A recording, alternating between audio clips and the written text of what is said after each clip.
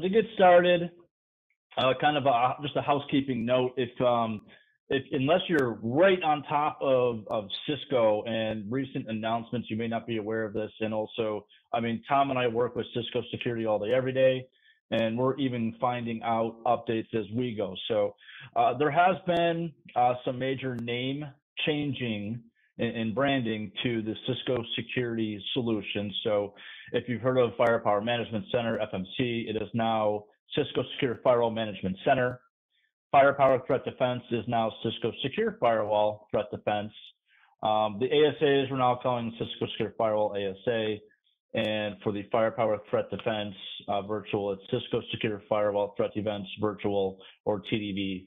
And when we share this deck with you, you'll notice uh, up in this left-hand corner, further Cisco security brand details. That's the PDF that Cisco uh, frequently updates. So if you want to just save that link, click on that just in case um, you want to get an update on the naming convention. So just want to mention that real quick and uh, we'll move on to uh, more pertinent content. So uh, as an introduction, uh, the firewalls that we're going to be uh, speaking about today, the typical use cases for these and what they'll fall into um, is going to be the internet edge architecture, data center, branch office, cloud and virtual environments, secure next generation, IPS, and remote access uh, VPN, very common thing, especially now with remote working, uh, really ramping up.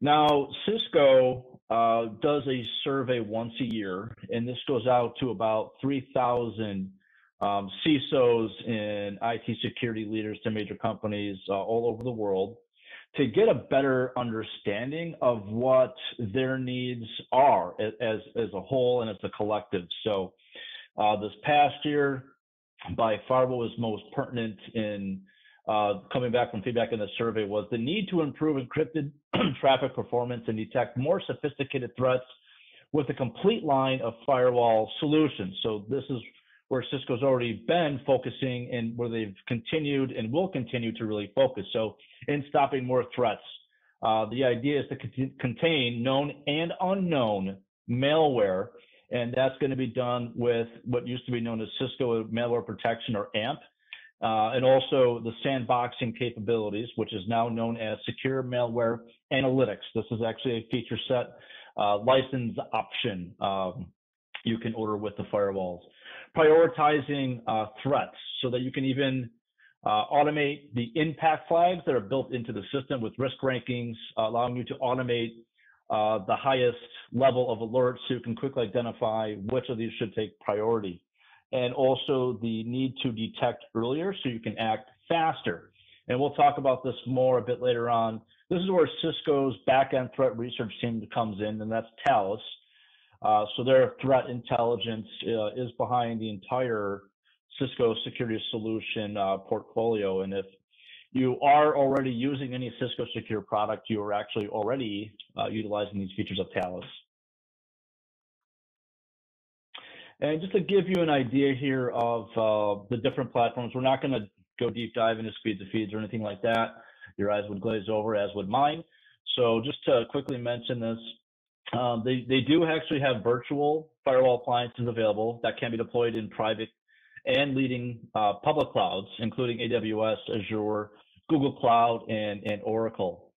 For the physical appliances, there is the ISA uh, 3000. This is designed for use in industrial environments. So in those cases where you're dealing with extreme temperatures as well as uh, the need to power with DC power.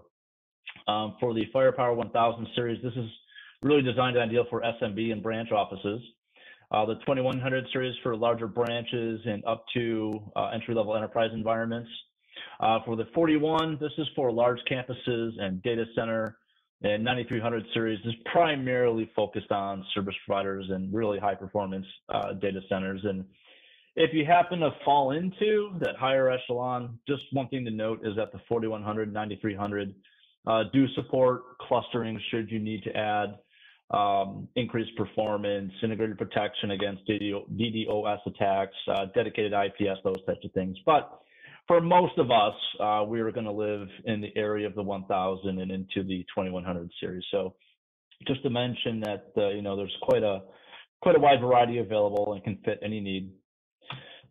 So just to give an idea of, of what uh, secure firewall and threat defense, where, where it fits into so well, um, we say that it, it delivers nearly 100% uh, efficiency or, or, effectiveness in blocking malicious flows and against network threats. And depending on the year and the specific test, um, Cisco typically falls in the range of blocking 98.7 and up to 99.6 of threats. So that is all, uh, you know, Cisco Talos and, and the policy management, that type of things to make it that efficient. So the key benefits uh, we, we, are typically talking about here is uh, tenant management separation, the ability to scale as you grow.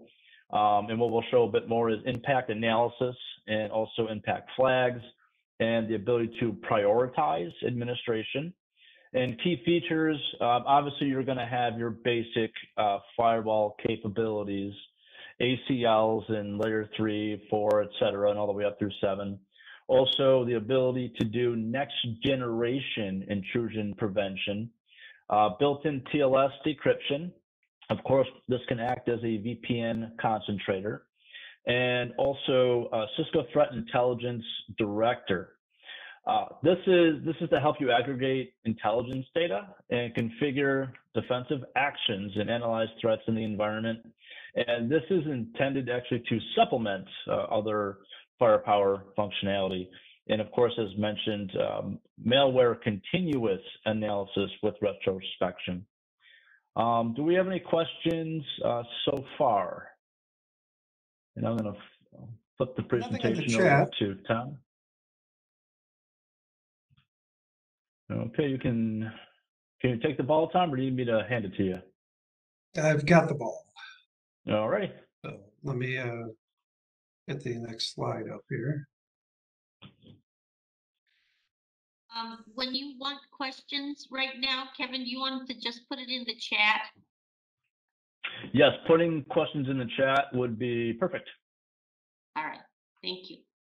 Okay, uh, you should see the same screen Kevin had a moment ago. Yes. Okay, good. So let's jump to it then. One second. I'll be ready. Okay. So a little bit deeper on some of the things Kevin just covered. Uh, about uh, first, what I'm going to do is talk about some of the features. Then we'll do a demonstration of some of the firewall management. And then I'll hand it back to Kevin to finish up. But uh, you know, one of the things we have here uh, is you can set up different policies on uh, different firepower uh, appliances. Now I'm using the word firepower, that's the old name, but I'm secure firewall. So I can actually secure on a whole lot of criteria uh, with these next generation firewalls. So I could block, warn, allow on different traffic, but traditional things firewalls do, like on IP addresses, source and destination ports, of course.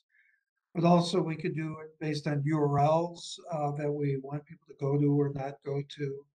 Uh, also, FQDN or domain name uh, can do the same type of thing. And based on application. So application is actually using an, older term or a term they used for a while with that is AVC, Application Visibility and Control. Uh, but this has been upgraded uh, for a while now. Open App ID. And Open App ID has over 4,000 predefined applications. So then we can uh, do policy based on those applications, block them or allow based on who the user is or where they're coming from. Uh, but you could also, if you have your own applications, you could uh, go to the Open App ID site and make your own and add them to the firewall too for custom applications if we want to add them to allow or block. We have uh, across multiple types of uh, ways of controlling that traffic. Um, of course, these firewalls have secure IPS. Uh, some of the best in the business. Uh, you know, operating with Snort is the main IPS engine. You know, it's kind of a funny name, but uh, uh, Snort 3 is the current version. and then it integrates into the rest of the firewall system and Kevin had mentioned those impact flags. So those exist in some of the management interfaces. Depending on your deployment, you uh, may get the, this feature or not. Uh, this uh, actually integrates into the management center, these impact flags. Uh, but we do have different cloud management and local management, depending on how you want to actually deploy it. Uh, and then the IPS can also integrate in with recommendations. So this actually can tune to your environment and adjust the intrusion prevention, either manually or taking recommendations from the system. So all this is to help make the system provide more efficient intrusion prevention. Uh, so that if you have a room full of Windows machines, you might not need to have the Mac OS uh, protection as an example. Uh, those uh, protections maybe could be turned off. Uh, we did get an update last year to Snort 3 from Snort 2. I'm not going to dive into all the differences, but every number of years, it takes a, good amount of years, Cisco does update uh, things like this. Snort 3 actually is a big update in the efficiency of Snort that actually made it a fully multi-threaded and multi-process solution so it can scale much higher performance and be lower overhead and a variety of other features on here, but I'm not going to dive into all these little features other than that is the latest version now shipping. Uh, another feature, uh, and this is specific if you're doing the management center on premise, uh, is host profiles, where the firewall system on the management center can learn what hosts you have on your network um, so that it can classify them and check them for vulnerabilities they might have. It can tell what operating system they are, things like that. Um, and then allows the system to apply that information that, you know, it knows that it's a Windows machine of a particular version, and that can help with those firepower recommendations and help build the impact flags when you're using Management Center. Um, and also when troubleshooting, uh, you know, you see like, what's this traffic happening or someone's having a problem, you can zoom in and see which machines were affected and then knows about those machines and details and attributes of those computers. So it's all designed to work together. It also, in, in addition to impact flags, there's also indications of compromise. Uh, so their endpoint protection product also has this concept of indications of compromise. But in this case, the system, the firewall product here, it's gathering intrusion information, security intelligence, which is additional feeds it gets from Cisco Talos, uh, and malware effects that if you have it licensed with their advanced malware protection, gathers all these together to develop indications of compromise uh, and then rate them uh, based on industry standards. So this can be very useful to see how severe a particular incident is, either malware, exploit kits, those type of things. Um, yeah, so this is part of the solution. So um, now Kevin had mentioned it kind of on that intro slide, but integrated TLS de uh, decryption uh, is a major feature. Not other firewall offers this. The hardware they have these days accelerates it quite heavily. So this is where I want to do a man-in-the-middle decryption of the end user traffic so I can properly scan it because a very high percentage of the internet now is actually encrypted.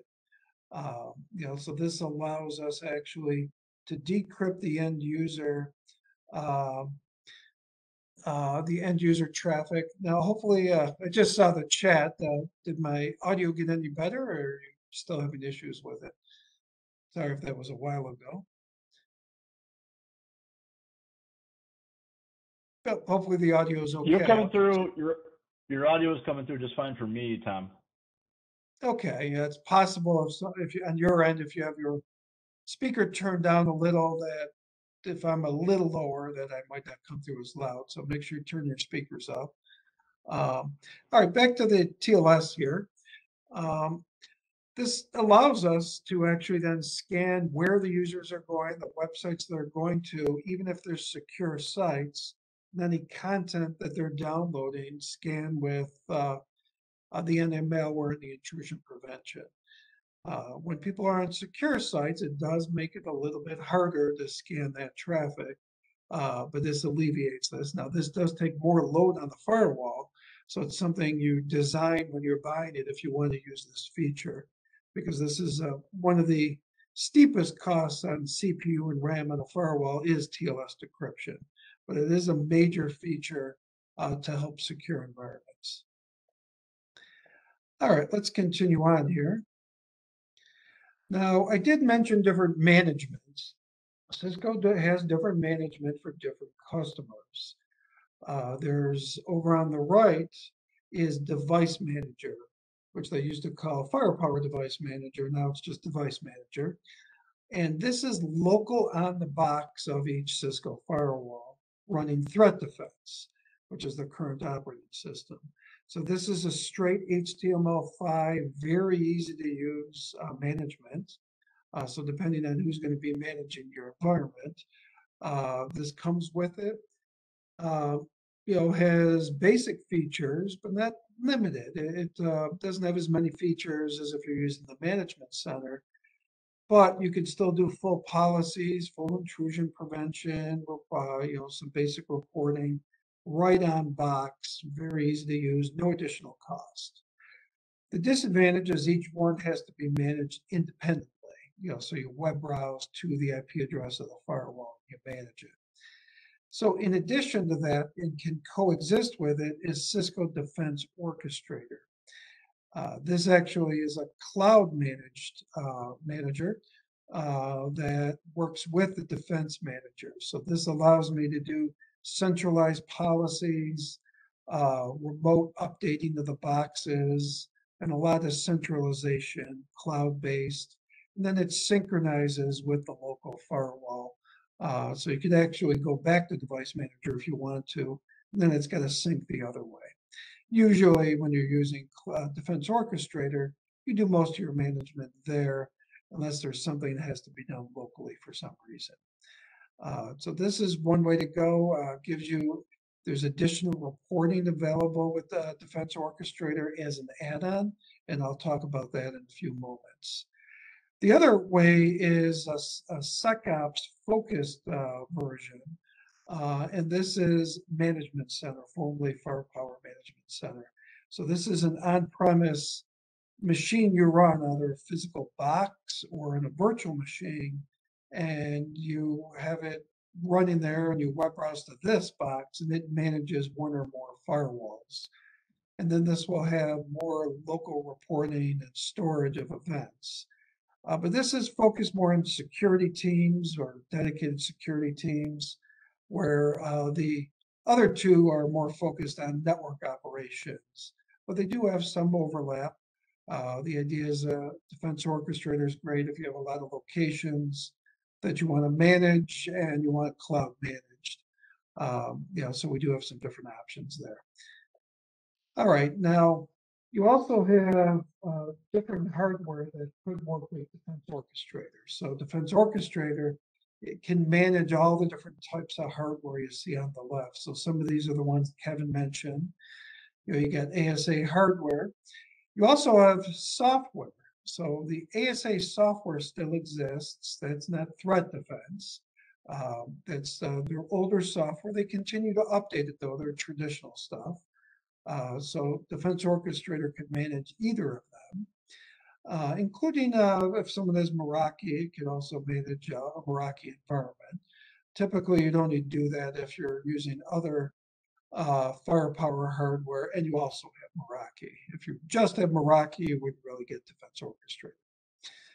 Um, now, we have this slide kind of as reference. Um, you could look at uh, different uh, use cases and then try to choose which manager would be the best.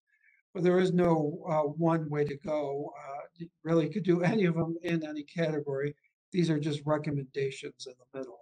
So for a typical internet edge, uh, you know, management center or CDO, uh, where SMB, they're suggesting device manager or CDO.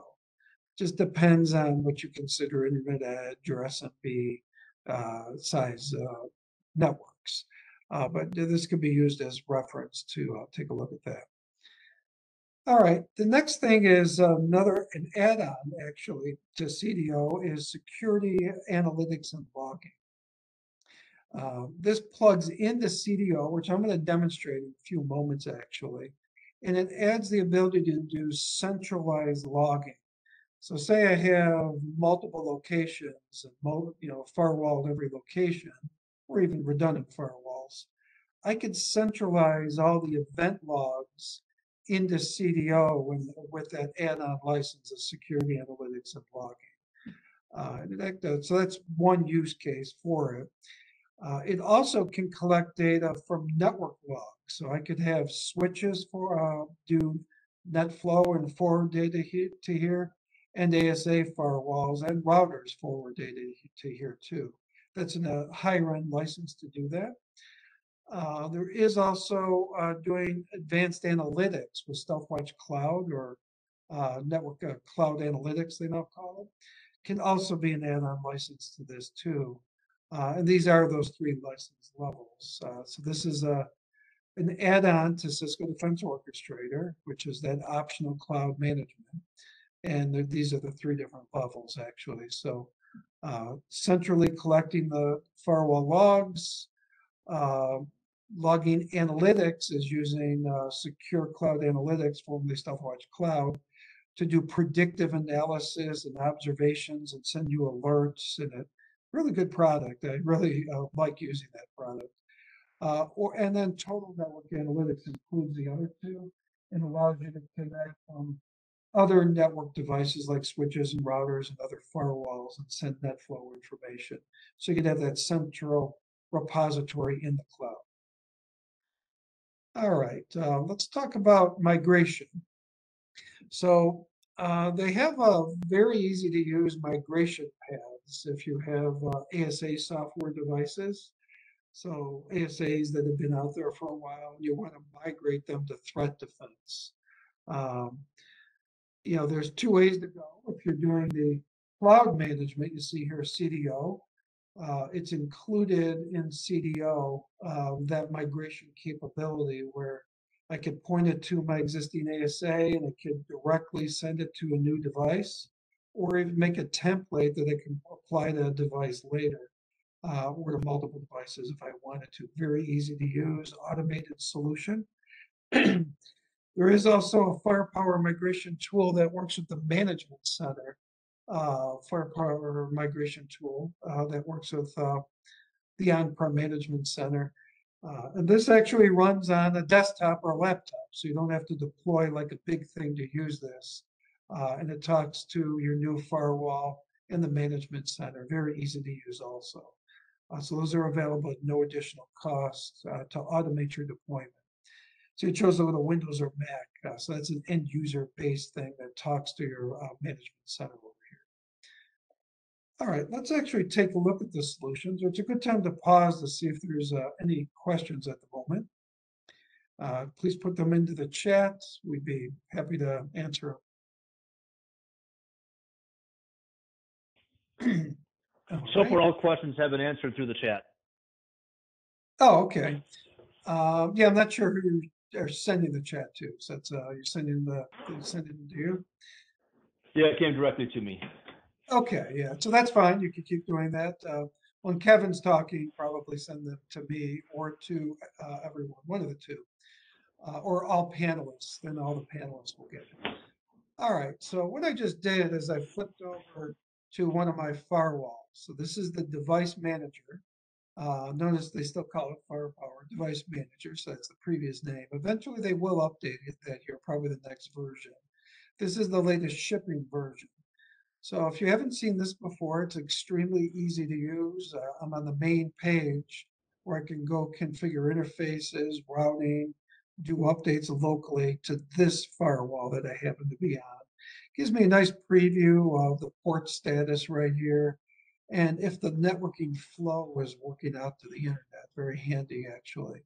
I could actually collapse that too if I want to. If I want to configure an interface, I could come right over. It's all graphical and extremely fast. Everything pops up immediately and I could manage it. There's an IP address on one of my firewalls. Um, or if I want to go back to the main screen. I can view my licensing. Uh, you know, these are the three main licenses for the product. And then there's also the VPN licensing. Um, you know, to license it, I could see if they're enabled and working, things like that. Um, updates uh, is easy to do locally, uh, but this is again right on the box. Cisco Defense Orchestrator is great for centralizing that. But here I could actually have it schedule updates for a geolocation database. It keeps a vulnerability database of known vulnerabilities, security intelligence feeds, and the intrusion prevention. I have all automatically updating. And then here is if I wanted to update the operating system itself, I up- downloaded the file manually and then uh, told it to uh, upgrade basically right here. Uh, so that's just a few things uh, on this screen. We're not going to look at everything. Uh, but I can also go look at policies. Uh, and it's very easy to create policies and see them working. Notice here I, I'm on access control. These are the main firewall rules, but I also could go look at network translation, secure, and see my rules there, or go to security intelligence and enable that. I could do SSL decryption. Um, that's that TLS de- decryption. Uh, commonly call it TLS these days now. Um, could all be configured on this box, or if I wanted to customize intrusion prevention and pick which level and modify that could be done locally. Uh, if I get a new rule real quick, just not to go too deep here, but you could quickly see it's, you know, you got different tabs. So this is traditional firewall rules right here, source and destination. Or I could go look at applications. Uh, Kevin, why don't you mute while you're typing there? Um, Sorry about that. yeah, I could also, you know, right here, pick applications I want to block that it's getting from Open App ID. Uh, or I could go to advanced and really get sophisticated and say, maybe I want to block uh, apps that are very low prevalence, uh, but are very high risk. And it will sort those. And those are probably ones I might want to block first. You know, I wouldn't block them all. I'd decide, you know, take my time and figure it out. But this really allows a, an organization of which applications you want to block. Uh, that's on applications. That's separate from URLs. So URLs is a different technology. Uh, looking at the actual um, URLs themselves, uh, content filter. So you can do your own uh, or you could do it based on content, of course. And I could pre-create these in the objects area, same thing with applications, as opposed to doing it right here. And then just add the object is another option. Uh, intrusion prevention, you kind of just turn it on and select your level that you want to do. Uh, and then you can do your file policies, which for blocking malware and different types of files you want to block. All these different things could be done on the different firewall rules. Um, you also have a full assortment of objects you can configure locally uh, for doing different things. But again, it's quick and easy to get to. Everything's lightning fast when you're managing it, uh, which I do like. And then basic local monitoring of the box, uh, happening and different logistics, and you could centralize the events. Now that's all locally. We do have uh, the Defense Orchestrator also, which allows me much easier to manage multiple firewalls. So this is the main screen I get to when I log into Defense Orchestrator. If I click here, I can then see all my firewalls that I have out there. Uh, so these are all mine, they're all real. Uh, and I'm managing you know, here. Uh, they recently added the ability to sort. So if I just wanted to see threat defense uh, firewalls, I can click here and then look at the ones I want to look at. You can see they're all synchronized. Maybe if I look at the one we were just on locally, that's this one, I can now see information about it over here. Uh, if I wanted to upgrade it, I'd click right here and see it's already running the latest version. It tells me that. Uh, but if I pick a different one, say number three here, uh, that's running 7.0. It's not the latest. So I could come here, hit upgrade, and select an image and just hit continue, and it will automatically upgrade at my now or scheduled time. So upgrading can be quite handy. Uh, let me go back, but I could also manipulate all kinds of settings, VPN. You can figure it from here and do centralized policies in this product also. Um, so policies, if I wanted to do centralized ones, I, I could do them right on the box from from the cloud management.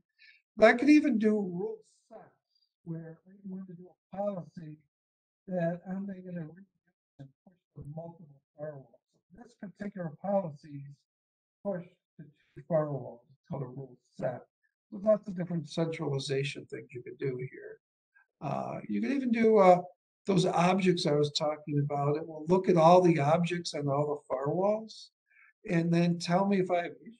Like I have duplicate objects across firewalls uh, with different names or I have unused objects. This is a traditional problem in IT departments. People create objects and then eventually they stop using them, but then no one deletes them. They get over time, they get more and more and more of them.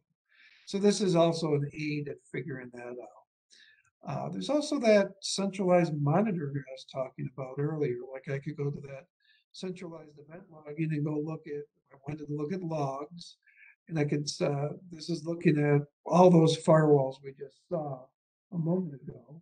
And I could look at the actual traffic going by. Um, you know, and I could filter it down to, you know, more specifically what I want to look at, or if I just want to look at a particular kind of thing. Um, you know, the other thing we have here is an executive summary that's centralized too. So this is uh, showing the traffic again across all five firewalls that are threat defense. And this is just a little, I don't have a lot of data going through these firewalls. Uh, I could also go look at web categories and things like that and threats.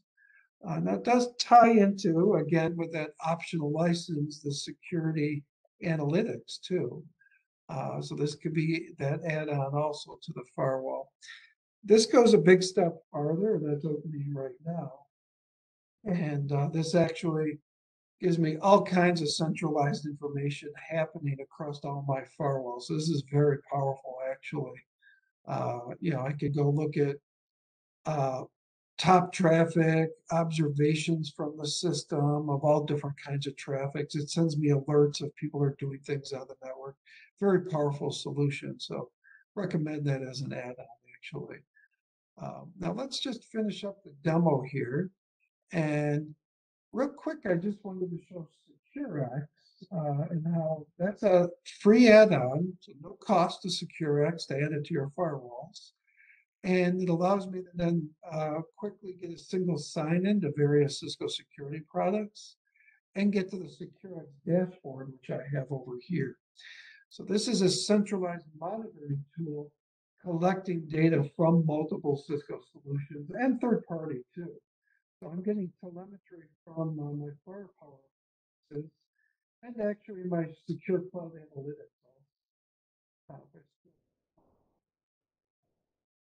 Point, their endpoint product sending me telemetry too. This is one part of SecureX. It's an overall platform that actually has multiple pieces. Uh, you know, there's a ribbon that ties in and connects all the different products with casebooks and incidents. So these are all optional features at no additional costs you could use uh, there's also threat response, which is a threat hunting tool, which pulls data from uh, across Cisco security products, all from all these products, and allows me to help uh, track down uh, different traffic. Um, yeah, apologize if uh, the audio got too bad there. Uh, I'm not sure if it's bad for everyone or not. Try to keep that on track here. Um, so that's uh, it for the demonstration. Uh, any questions on that? Uh, nothing coming through in the chat so far yet, Tom. Okay, so I'm going to turn it back over to you then. Uh, here, I'll stop sharing and just pull the ball right over. Yeah, so hopefully it wasn't fading in and out the whole time. Uh, I apologize if it was for everyone. Uh, That's your email. Okay. Got rid of that. So uh, just uh, a few more uh, things to note uh, before we wrap up and uh, take any additional questions you may have. So I did mention Talos and what this is. And, and for once in our industry, we do not have an acronym here. Talos actually doesn't stand for anything. It was the Greek god of protection. So that's why Cisco named their, their threat research team after that.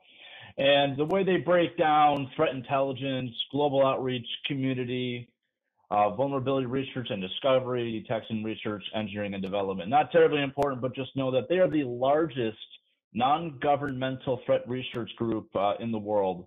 And any any security vendor has uh, a team like this. This is the secret sauce behind any uh, security vendor. And obviously, Cisco is heavily invested in that. They have some fantastic uh, scientists amongst this group.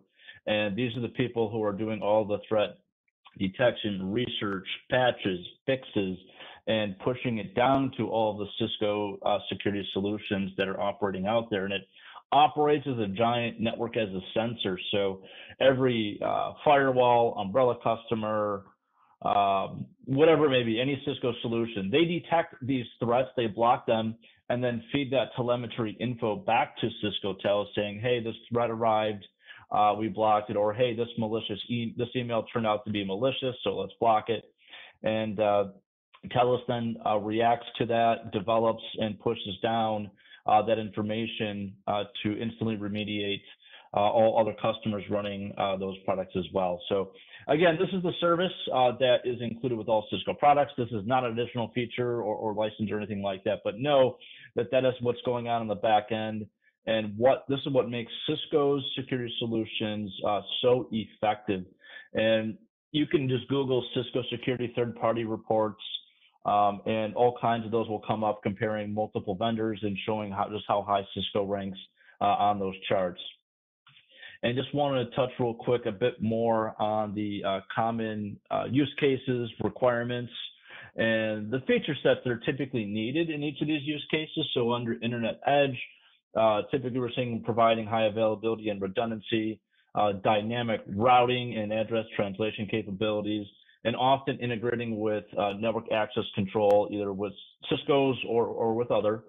And under data center, our solutions provide high availability, scalability, um, high needs for high bandwidth as well as low latency, uh, denial of service, uh, attack capabilities, next generation IPS, and under branch, often uh, we're providing features such as site-to-site uh, VPN, again, high availability, routing, application visibility and control, uh, incident response, and also dual WAN uh, capabilities.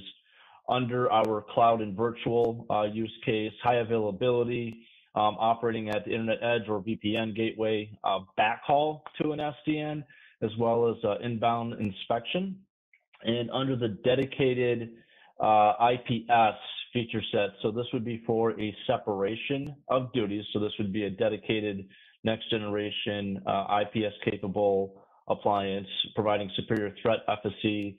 Uh, certainly does tie back into uh, Cisco Talos threat intelligence, TLS decryption. And there certainly is a need, and we can provide this of mirroring traffic and deploy in active, inline, or passive mode. Of course, network reliability and scalability. And for the needs of remote access and VPN, of course, we, we want to be able to connect Cisco's AnyConnect VPN clients, but also can uh, provide connectivity to third-party VPN clients as well. Uh, integrate with endpoint security and, of course, authentication, authorization, and accountability. And the last thing I just wanted to mention, um, if you happen to be interested in the space of the uh, small business uh, box. Uh, there is a bundle to assist with simplification um, as well as full feature set and, and easy for pricing, that type of thing. It comes with the Firepower 1010. And this actually includes all of the options for uh, threat licensing. So full feature set of application visibility and control, uh, secure malware, next generation IPS, and the URL uh, filtering feature set. And this box is designed to be a, a, desktop size. It is fanless, so it doesn't have to be an air conditioned room. It does have switch ports, some of which are PoE. it's capable of doing. And note, uh, this is something we would have to discuss uh, up to 650 megabits of throughput. And depending on how much you turn on, that number will go down. And also, um, it does include uh, management options for Cisco Defense Orchestrator as well as the on-box management. Uh, it can also do uh, cloud log cloud, cloud logging or SAL uh, with seven-day retention. And if there is a requirement in your environment to have that turned off and deleted, that can be done. And also, this will include uh, 50 licenses for AnyConnect VPN clients. And we will be sharing this uh, with you. So I also included uh, just some additional uh, resources if you want to uh, be aware of those and look into them. So YouTube channel, GitHub, DevNet, and AppID portal, and of course uh, the main homepage for that. And with that, uh, that does end uh, our primary presentation uh, content.